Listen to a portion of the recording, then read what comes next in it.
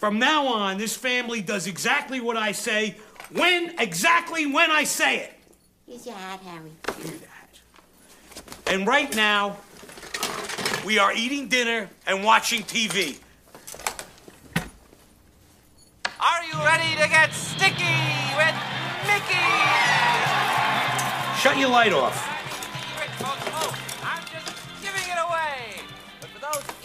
There who don't know how to play, here's how it goes. For each correct answer, they'll move one step closer to our cube of cash. Once in our cube of cash, any money that sticks to your gooey body, you get to take home.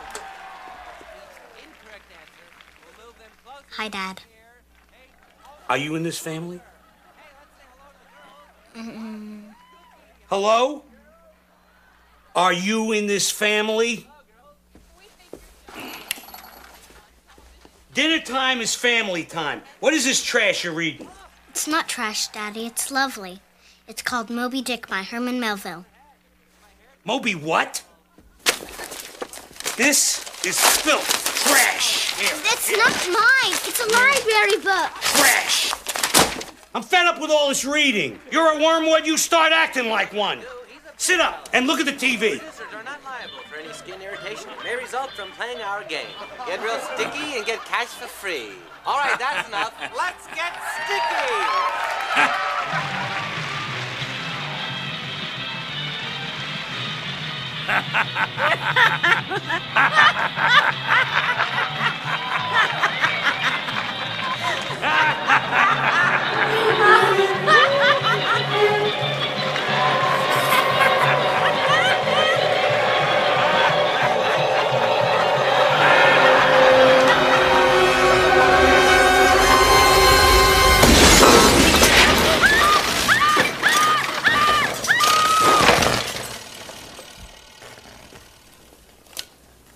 do it. Of course you didn't do it, you little twit. Ugh, Told you that was a cheap set. it's not a cheap set, it's a stolen set. Oh. Put your light on. Bummer. Was it magic or coincidence? She didn't know.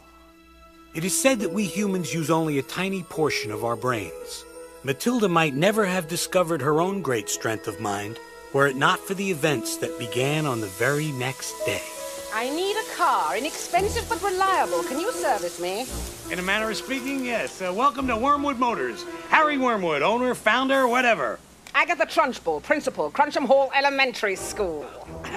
I warn you, sir. I want a tight car because I run a tight ship. Oh, yeah, huh?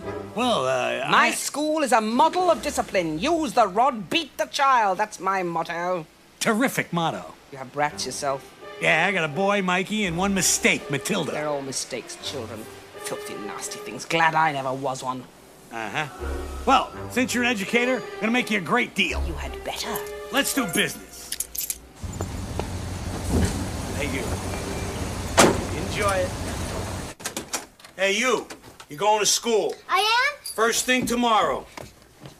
Yeah, yeah, yeah, yeah. Okay, okay. You get a real education at this place.